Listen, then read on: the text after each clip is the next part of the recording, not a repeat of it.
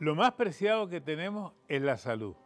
Univida es un nuevo concepto de salud. Si tiene más de 65 años y es beneficiario de Medicare, Univida le ofrece lo que usted necesita para vivir sano y feliz. Tenemos el mejor cuidado clínico y médico, además de transporte, laboratorio, medicina y mucho más. Únase ahora a Univida Medical Center. ¿Por qué? Porque la salud es vida.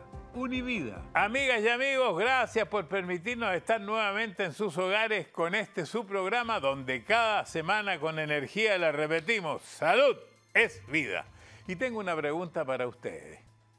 ¿Cuántos de ustedes han sufrido de dolores en la columna, en la cadera, en las rodillas y en los pies? ¿Y cuántas veces incluso tienen dificultades para caminar o subir y bajar escaleras? ¿Por qué nos pasa esto? ¿Cuándo debemos recurrir al especialista? ¿Cómo debemos cuidar nuestra columna, nuestra cadera, nuestras rodillas y nuestros pies? Estoy seguro que el programa de hoy nos va a servir a todos y aprenderemos y escucharemos consejos muy prácticos para mejorar nuestra vida diaria. Por eso, no esperemos más y comencemos otro capítulo de Salud es Vida con Univida.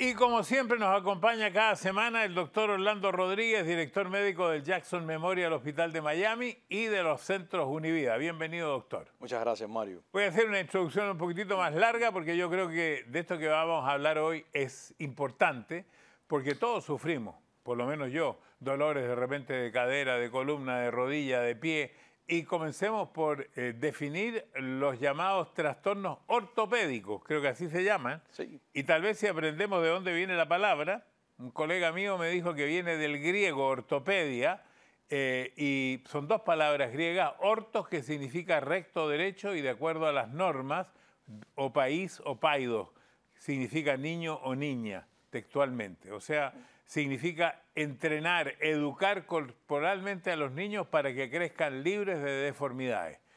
Me imagino que está de acuerdo con eso. estamos completamente de acuerdo, Mario. Eh, la ortopedia en realidad se refiere a todos esos trastornos eh, que existen no solamente en los huesos, sino también en las coyunturas, en el cartílago, en los ligamentos, en los músculos, en los tejidos aledaños que le dan sostén y le dan estabilidad a todas esas coyunturas. Entonces siempre ha sido la especialidad de mantener eh, los huesos rectos y empieza desde muy pequeño con las deformaciones que vemos en los niños y luego eh, se traduce en, el estado adulto a, todas esas eh, trastornos que existen a medida que envejecemos. ¿Y cuál es la diferencia, doctor, que existe entre traumatología y ortopedia? Son dos palabras.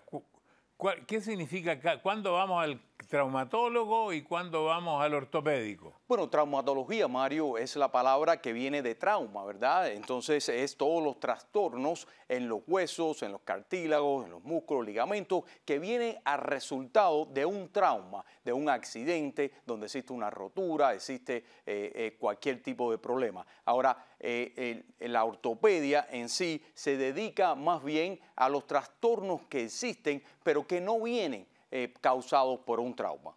Y a medida, me imagino, que envejecemos, tengo la experiencia, los trastornos ortopédicos se acentúan. Y claro que sí, a medida que vamos envejeciendo, producto de un proceso eh, mayormente de desgaste, eh, de sobreuso, pues entonces eh, estos trastornos se van acentuando. En mi caso, esta columna me está acompañando más de 80 años. Y entonces la pregunta es, ¿a qué edad nuestro sistema de músculos y el esqueleto se comienza a deteriorar. ¿Y por qué ocurre esto? ¿Cómo va ocurriendo? Bueno, hay, muchos estudios los cuales indican de que tan temprano como a la edad de 30 años, eh, pues entonces ya vemos cambios en los músculos, en los huesos, en los ligamentos, en los cartílagos, etcétera, y entonces de ahí en adelante pues vemos una degeneración eh, de todo este sistema. Bueno, el dolor de espalda, el dolor de rodilla, son los principales síntomas de una lesión ortopédica, ¿verdad? Y claro que sí, eh, todos aquellos eh, eh, lugares donde exista peso, pues entonces son los donde vemos las, las mayores lesiones, es decir, en la columna vertebral, lo vemos en las caderas, lo vemos en la rodilla, lo vemos en los pies, lo vemos en las articulaciones de los hombros, etcétera. Bueno, para complementar, doctor, todo lo que usted está diciendo, hoy también tenemos un invitado, el doctor Jorge González, que es especialista en medicina regenerativa, deportiva y ortopedia. Así que le vamos a dar la bienvenida después de estos mensajes al doctor González.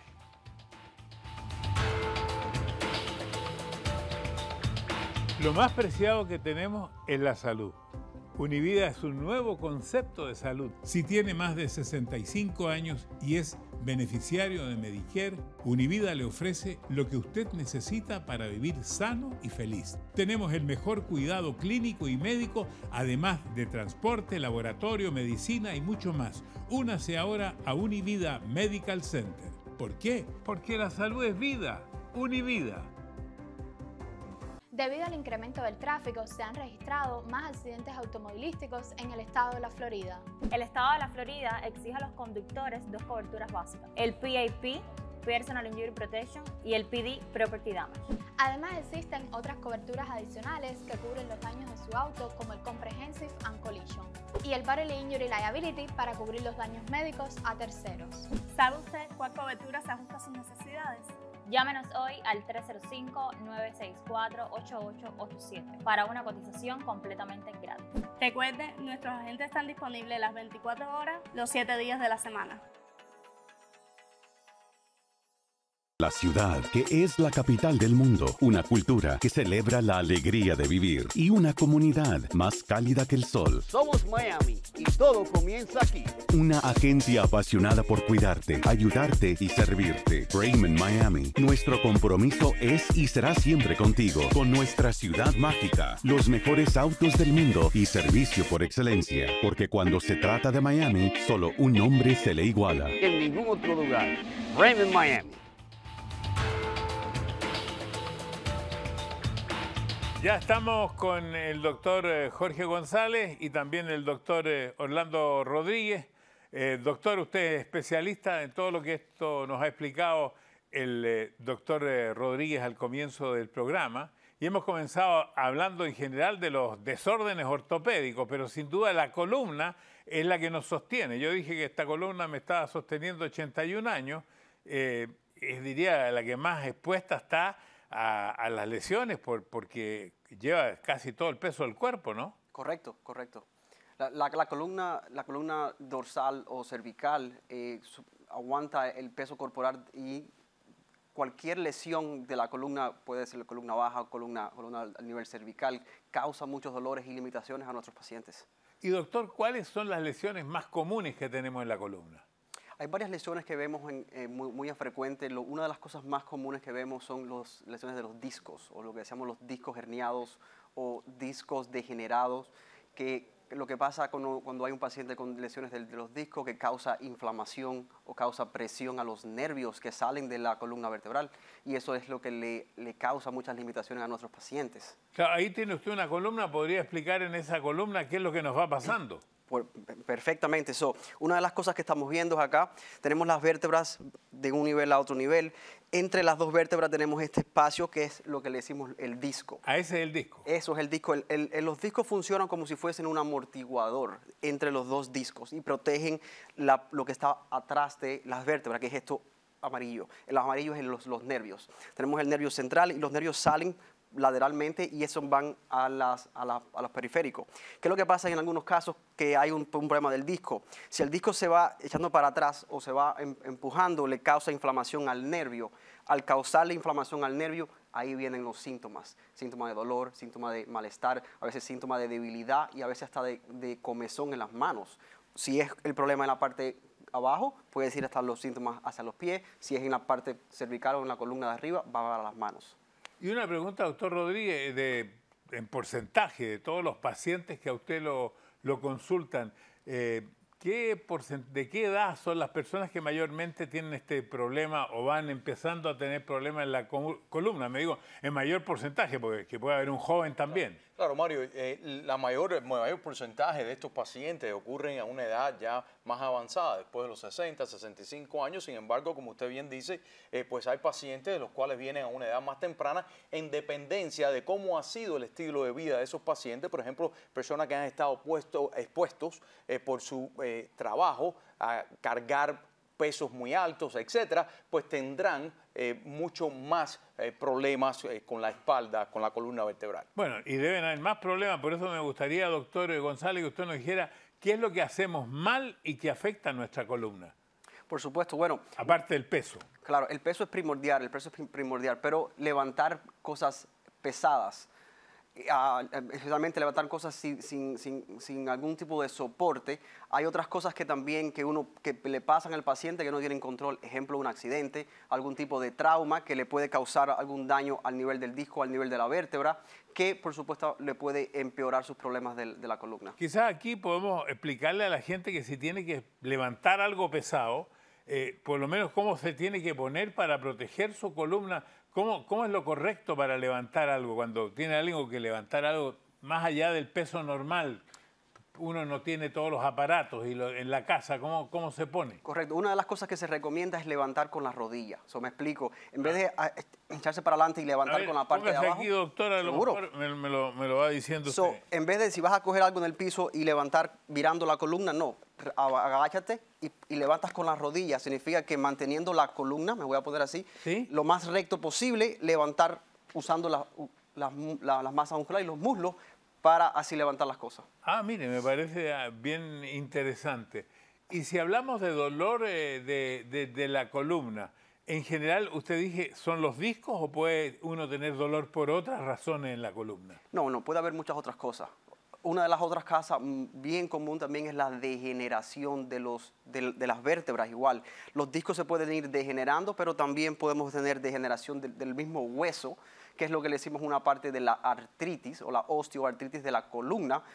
Donde hay, donde hay dos conexiones de hueso, hay una capa de tejido que se llama cartílago. El cartílago se puede ir degenerando, se va desgastando, y eso es otra causa de dolor y limitaciones. ¿Hay también eh, eh, enfermedades hereditarias en la columna? Sí. Ah, miren, no sabía. Sí, sí, hay, hay otras enfermedades hereditarias y otras enfermedades de otras ramas de la medicina, ejemplo del mundo reumatológico, que también causan problemas en la columna con, con muchos dolores.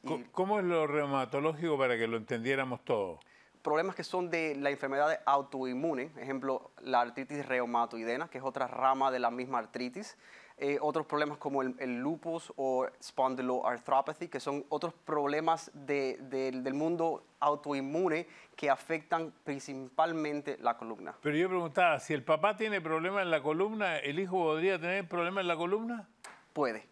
Puede. Y me gustaría, doctor, ¿usted ha visto casos así? ¿Es frecuente o es infrecuente? Son los menos frecuentes, Mario. Existen otras entidades, por ejemplo, la anquilosis espondilitis anquilosante, que es una de las enfermedades más comunes y que causan estos dolores a una temprana edad y que se ve en, las familias.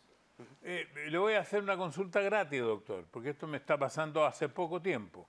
Eh, yo, eh, en general, hago diariamente ejercicio pero en la noche, cuando me acuesto, estoy sintiendo dolores que se me producen, eh, que algunos dicen que podrían ser de la columna, que respiro, por ejemplo, profundo y siento como, como un dolor. Me siento después y me paro y no tengo el dolor, lo tengo cuando estoy acostado. ¿Eso puede ocurrir eh, a lo mejor por mi edad o, cuáles son las razones? Bueno, razones pueden ser varias, pero sí una de las causas que hay que, hay que eh, evaluar es si viene de la columna, si este nervio que es el que va para las, la, área donde le está molestando, si hay algún tipo de irritación a este nivel, le puede, le puede causar esos síntomas que se están presentando. Doctor, cuando me he despertado, he sentido también que he tenido dormidas las manos. Mm. ¿Podría eso también venir de la columna? Sí, sí. Las manos pueden ser igualmente, si el, problema viene de aquí, de donde el nervio sale de la parte cervical, pero también puede ser de muchas otras cosas. Ejemplo, hay una, algún tipo de comprimiento del nervio al nivel periférico, por ejemplo, puede ser el, túnel carpiano, que es un problema muy, muy común que vemos. Puede haber un problema del, nervio al nivel del codo también. So hay, que, hay que examinarlo para descartar exactamente dónde es el problema y buscarle una solución. Yo estaba pensando, doctor Rodríguez, que usted atiende también tantos pacientes en la medicina general, muchos eh, sienten algunos dolores y ni piensan que pueden venir de la columna, le dan otras razones.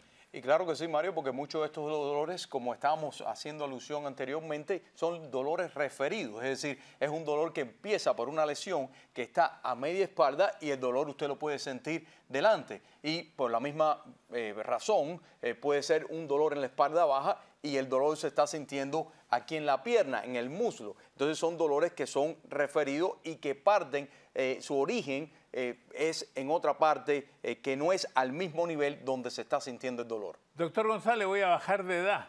Vamos a las actividades de nuestra infancia, prejuventud, así, que afectan a nuestra cadera por la bicicleta, por correr, por montar a caballo, porque muchas veces de niños uno tiene molestias en la cadera. Correcto.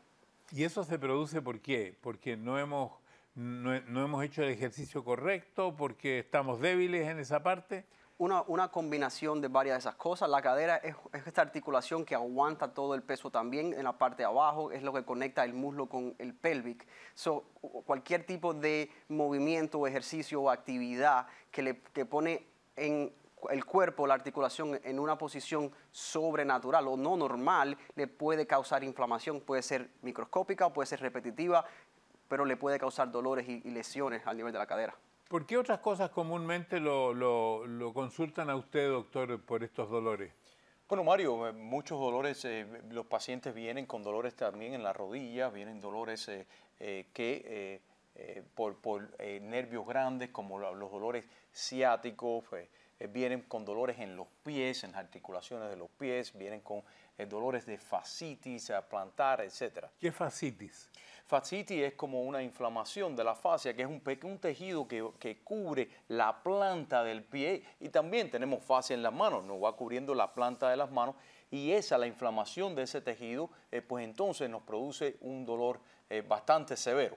Quisiera hablar de la osteoartritis y de la osteoporosis, porque también eso puede producir lesiones en la cadera, ¿no? Sí, sí, estamos hablando, hay dos, diferencias, la osteoporosis es la debilidad de, los huesos en, general y una de las cosas que vemos en los pacientes que empiezan con la osteoporosis es que tienen un riesgo muy alto de si se caen o se da un golpe, hay una fractura o una, una lesión del hueso. La osteoartritis es diferente, es más desgasto de la articulación, de ese cartílago que habíamos hablado. Bueno, entonces vamos a dejar una pregunta pendiente, doctor. ¿Los problemas en la cadera se pueden o no se pueden revertir? Después de estos mensajes. Lo más preciado que tenemos es la salud. Univida es un nuevo concepto de salud. Si tiene más de 65 años y es beneficiario de Medicare, Univida le ofrece lo que usted necesita para vivir sano y feliz. Tenemos el mejor cuidado clínico y médico, además de transporte, laboratorio, medicina y mucho más. Únase ahora a Univida Medical Center. ¿Por qué? Porque la salud es vida, univida. Ya son muchos los años que me unen a Llamada Real, una compañía con la que me he comprometido y me ha dado la oportunidad pues de acercar a los míos mucho más. Llamada Real, mes a mes, con recargas y facilidades para todos los que descargan su aplicación. Llamada Real es eh, la manera más fácil, óptima, clara y precisa con la que usted se puede comunicar con su gente. Me encanta pues eh, tender un puente de comunicación a través de llamada real, que los suyos le puedan llamar y que usted pueda hablar con los suyos. Llamada real, uniendo familia, llamada real para nuestra gente. Presidente Supermarket. Mercado Presidente desde hace muchos años es el mercado de todos, donde tu dinero rinde más. Y es que en Mercado Presidente hay de todo y para todos. El precio y la calidad están garantizados en Mercado Presidente. Encuentra tu tienda en tu localidad. Mercado Presidente, no me canso de decirlo. Grande entre los grandes. Presidente Supermarket. Aquí estamos en Salud es Vida con el doctor Rodríguez, doctor González, y quedamos de preguntar si estos problemas en la cadera se pueden revertir. Eso sí, hay algunos problemas que tienen una cura, hay otros problemas que son más degenerativos, que sabemos que no hay una cura, pero hay muchos tratamientos quirúrgicamente, igual que no quirúrgicamente para ayudar al paciente. Pero hay otros problemas, por ejemplo, como la bursitis o la tendonitis de cadera, que si tratado correctamente, cuando se va el problema, se va por completo. Ah, Entonces le consulto, porque yo tengo una bursitis en mi cadera del lado izquierdo. O sea, el mejor eh, cliente suyo soy yo. ¿Qué, qué significa una bursitis? So, la, la bursa es ese tejido que separa dos niveles de músculo o tendones. So, en la cadera tenemos varios músculos, en la parte lateral especialmente, y hay una bursa, ese tejido que separa dos de estos músculos. Yo me imaginaba una bursa como una bolsa. Una bolsa, exactamente. Es, la- es lo que un- una bolsa que divide dos planos de tejido. Cuando se inflama o se irrita es lo que le decimos la bursitis. So, eso es lo que es la bursitis. ¿Y eso se puede corregir? Sí, sí. Mientras que no haya unas lesiones del músculo como una rotura o, una, o unas lesiones eh, severas, se puede, se puede y muchas veces mejoran significativamente bajando la inflamación, fortaleciendo esos músculos que, que llegan a, a esa área y, un- y una, una solución completa. ¿Y cuán- cuánta solución tiene un, eh, esta, esta cirugía en las caderas? So, dependiendo de, de cuál tipo de cirugía estamos hablando, pero si, por ejemplo, una, una cirugía de reemplazo, ya es hablando de, de- de un problema diferente, es más la artritis o la osteoartritis de generación articular. ¿Y, y eso qué porcentaje de éxito tiene? En la cadera usualmente lo- lo- los niveles, los porcentajes varían, pero una, es una de las cirugías que tiene muy buen, una, un muy buen porcentaje de más de un 80 a un 90% de, de mejoría. Muy bien, nos vamos a ir más abajo, doctor, a las rodillas. Porque también tenemos que cuidar. También soy cliente de las rodillas porque me han hecho eh, una operación a los meniscos en las dos rodillas hace muchos años y me imagino que eso es por el uso y por el peso. Un poquitico de los dos. Lesiones del menisco se ven más en, en los atletas o en, lo- o en nuestros, nuestros pacientes más jóvenes. También pueden pasar en, en pacientes con una, edad más avanzada, pero es más común verlos en, nuestros atletas como, como cuando usted lo, lo- lo tuvo. Bueno, ¿y y usted tiene muchas consultas de rodilla o menos ya? Muchísimas, Mario, porque es, el producto eh, de- del envejecimiento, es el producto del desgaste, del sobreuso de muchísimos años. Y tenemos aquí eh, una maqueta con las diferentes rodillas y, el desarrollo de la artritis y la degeneración de esos cartílagos y para, para demostrar eh, cómo es que esas rodillas van sufriendo durante el pasar de los años y cómo eh, producen todos estos síntomas de dolor, la inflamación, etcétera, que pueden ser extremadamente debilitantes y que en un momento determinado, cuando todos los tratamientos han fallado, pues tenemos una sola opción y eso es el trasplante de la rodilla o el reemplazo de la rodilla. Usted ha dicho que pueden ser muchas las razones por las cuales hay lesiones en la rodilla, ¿verdad? Pero ¿cuándo hay que eh, recurrir a la prótesis de la rodilla? So, la prótesis de rodilla se- es, es necesaria cuando ya la articulación o la rodilla ha llegado a su nivel fin, que ya el cartílago, y aquí podemos ver varias, varias lesiones, esta es como se vería el- una rodilla normal. A ver, esta sería una rodilla Una normal. rodilla normal, vamos a pensar que esto azul es lo que es el cartílago, que es esa, que es esa, esa, vamos a decir, la piel del hueso o de la articulación, sinceramente, que cuando somos joven, cuando nacemos, tenemos una cantidad de cartílago bastante potente. Con la edad, con el tiempo, la degeneración se van desgastando y van a llegar a este nivel que ya vemos que hay partes de, que, del cartílago que se han ido al 100% y hemos expuesto el hueso. Y ahí le decimos hueso con hueso. El hueso está rozando con el hueso de abajo. A ese nivel ya es cuando se le recomienda al paciente hacer un, un trasplante o, una, o un reemplazo de rodilla. Bueno, y si tenemos dolores en la rodilla, muchos de los que están escuchando o viendo tienen dolor en la rodilla. ¿Qué es lo primero que debemos hacer? ¿Qué consejos prácticos usted puede darnos para calmar este dolor en, casa de la rodilla? Seguro. Primordial es tratar de limitar la actividad que causó ese problema. So, descanso. Una de las cosas que yo siempre les recomiendo a mis pacientes si están en la casa, ponte hielito. Hielo es una manera de bajar la inflamación y es completamente natural, no te va a causar ningún problema. Si, esa, si el descanso, el, el hielo no te mejora en un par de días, por supuesto, ir a ver a un especialista, al doctor Rodríguez o a su primario, para descartar qué es lo que haya pasado. Ojalá que sea algo, algo leve, algo que se resuelva bien simple, pero siempre hay que ver las cosas más, más, más peligrosas. Como yo le dije, yo era perfecto, llegamos a los pies y yo además uso plantillas. Por lo tanto, mis pies no están tan bien, tengo el pie plano. Entonces, eh, los pies me imagino que hay que cuidarlos mucho. Igualmente, igualmente, el pie aguantan todo el peso del cuerpo también. Y tengo entendido que una de las áreas más complejas del cuerpo, porque tiene 26 huesos, 33 articulaciones, 100 tendones, es muy complicado el pie. Sí, el pie y el tobillo es muy complicado. ¿A usted, doctor del pie, no le preguntan? No, siempre, eso es todo el tiempo, eso no, no, no, no falla porque, acuérdese Mario, como habíamos expresado anteriormente, esto es el producto eh, mayormente del sobreuso o del uso por muchos años eh, y el desgaste de todos los componentes de las articulaciones, eh, de los cartílagos, etcétera, de, las personas. Bueno, hay un dato que yo me niego a aceptar porque me pareció increíble. Dice que una persona en su vida camina unas 150 mil millas, más de 240 mil kilómetros. Es como dar la vuelta al mundo caminando unas seis veces. ¿Eso es posible? Sí, sí, muy, muy común. ¿Esto, ¿Tanto es lo que caminamos, doctor? Caminamos bastante, Mario. Bueno, ¿y cuáles son, doctor, los principales problemas que afectan a nuestros pies? Bueno, hay dos cosas que vemos muy, muy frecuentes. La causa número uno en el mundo de dolores de los pies se llama el problema de la fascitis plantar, que es ese bando de tejido que el doctor Rodríguez había mencionado, eh, que está en la parte abajo del pie, lo que conecta el calcañal con los dedos, con los dedos del pie, se inflama y eso es muy, muy doloroso. Yo he sufrido de esto y por experiencia te puedo decir que es muy, muy limitante. Usualmente el primer paso de la mañana, cuando vas, te levantas en la cama, el dolor es, es más agudizado. ¿Y, el otro? Porque me dijo que eran dos causas. Artritis. Artritis. Bueno, yo creo que en un programa no podemos decir, además de que hay que elegir muy bien los zapatos. Correcto. Porque los zapatos tienen que tener mucha importancia, porque el zapato le puede ayudar a un mejor caminar. Doctor eh, Rodríguez, doctor González, muchísimas gracias. Hasta un próximo programa. Muchas gracias a ustedes por habernos visto y escuchado. Adiós.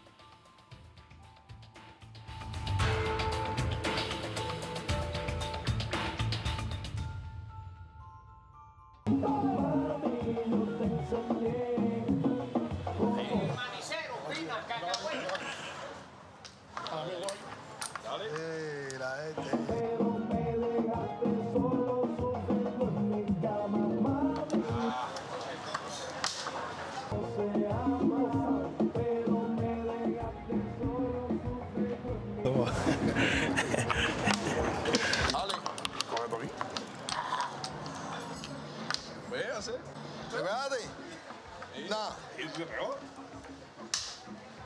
La fecha de concierto, mi gente. 2 de septiembre. Ale, Blanca. 2 de septiembre, la fecha de concierto. Eh, están al limbo, Ceres. 2 de septiembre. Oh, recordar es volver a vivir. Vamos a hacerlo. Vamos a hacerlo, estamos arriba